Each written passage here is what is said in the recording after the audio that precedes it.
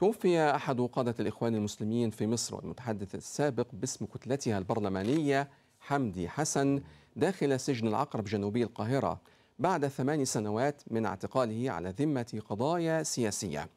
وقالت منظمات حقوقية إن النائب السابق حمدي حسن والذي يبلغ من العمر 64 عاما توفي داخل محبسه في سجن العقرب شديد الحراسة.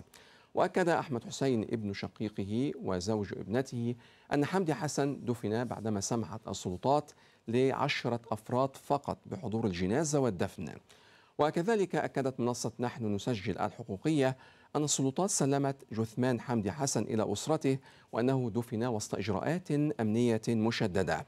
وقال مصدر حقوقي إن حسن توفي جراء الإهمال الطبي المتعمد ليبلغ عدد المتوفين ليبلغ عدد المتوفين داخل السجون المصرية خلال 12 يوما فقط 44 شخصا. ويرتفع العدد الإجمالي خلال 12 يوما فقط إلى أربعة أشخاص ويرتفع العدد الإجمالي إلى 44 متوفى منذ بداية العام الجاري. ينضم إلينا عبر الإنترنت من إسطنبول الناشط الحقوقي هيثم غنيم. كما ينضم إلينا عبر الإنترنت من القاهرة الكاتب الصحفي مجدي شندي. أهلا بكما معنا. أبدأ معك سيد هيثم. وكيف تعلقون على واقعة وفاة أحد قيادات الإخوان المسلمين والمتحدث السابق باسم كتلتها البرلمانية داخل السجن. وهناك تقارير حقوقية تتحدث أن خلال 12 يوما فقط هناك أربعة حالات وفيات داخل السجون الطبية السجون المصرية نتيجة للإهمال الطبي. جيد حالة الوفاة الخاصة بالدكتور حمدي حسن تأتي تصبح أول حالة وفاة تسجيل أول حالة وفاة داخل سجن العقرب خلال العام دهوت والرابعة خلال الشهر شهر نوفمبر الجاري. وده كله بيأتي بعد إعلان رئيس الجمهورية عبد الفتاح السيسي لاستراتيجيته الجديدة لحقوق الإنسان لكن الواقع بيقول إن لا يوجد أي انعكاس حقيقي لتلك لتطبيق تلك الاستراتيجية على داخل السجون المصرية. الدكتور حمدي حسن لم يرى لم يمكن من رؤية أسرته على مدار أكثر من خمسة سنوات. ليس هو الوحيد في هذا بل كل المعتقلين داخل سجن العقرب لم يروا أسرهم منذ ما يزيد عن خمسة إلى ست سنوات ونحن هنا لا نستثني أحد في هذه المسألة. إذا أسرته لم تستطيع زيارته أو الاطمئنان عليه أو رؤيته خلال السنوات الماضية تأتي وفاته بهذا الشكل أعتقد الذي فاجأ الجميع لتلقي علامات استفهام حول ما يجري داخل سجن العقرب خصوصا مع انقطاع جميع وسائل التواصل أو معرفة ما يحدث داخل السجن نتيجة منع الأهالي من الزيارة، منع المحامين، منع منظمات حقوق الإنسان، عدم تمكين منظمات المجتمع المدني داخل مصر من القيام بزيارات لهذا لهذا السجن، أيضا تلقي الطريقة التي اتبعتها وزارة الداخلية المصرية في مسألة تسليم جثمان والحرص على أن يتم الدفن وسط إجراءات أمنية مشددة لا يتم الدعوة للصلاة عليه، عدم تمكين أسرته من دفنه بشكل طبيعي والدفن بشكل سريع يلقي ظلال على طبيعة الوفاة وما يحدث داخل سجن داخل سجن العقرب وما يتعرض له المعتقلون داخل هذا هذا السجن.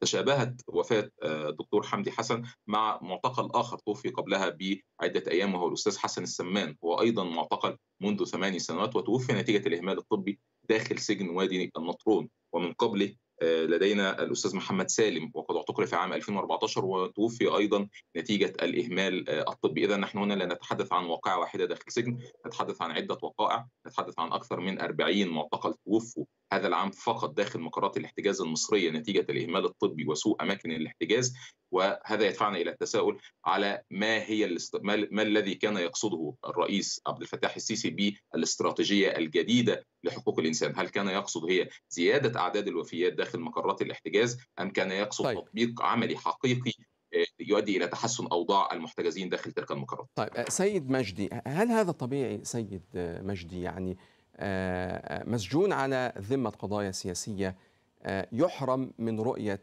أسرته لمدة خمس سنوات. هناك من يقول أن هذا يعتبر موت بالبطيء.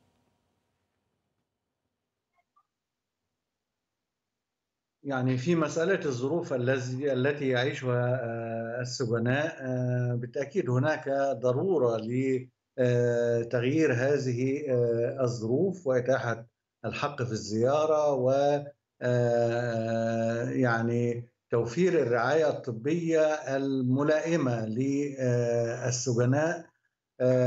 بالتأكيد يعني أن هناك كلما توفي شخص داخل السجن تنطلق الادعاءات بشكل مباشر أنه نتيجة للإهمال الطبي. إذا كان هناك أي إهمال طبي يمكن أن تبلغ به النيابة للتحقيق فيه دور وزارة الداخلية أيضا هو يعني أن توفر الشفافية اللازمة أن تصدر بيانا إذا ما توفي أحد السجناء أن توضح ملابسات هذه الوفاة حجم الرعاية الطبية التي قدمت له لئلا ينتقل الأمر إلى مجرد تكهنات يعني حالات الوفاة تحدث حتى بين المنعمين في قصورهم ولا أحد يعني يستطيع أن يمنع وفاة شخص هناك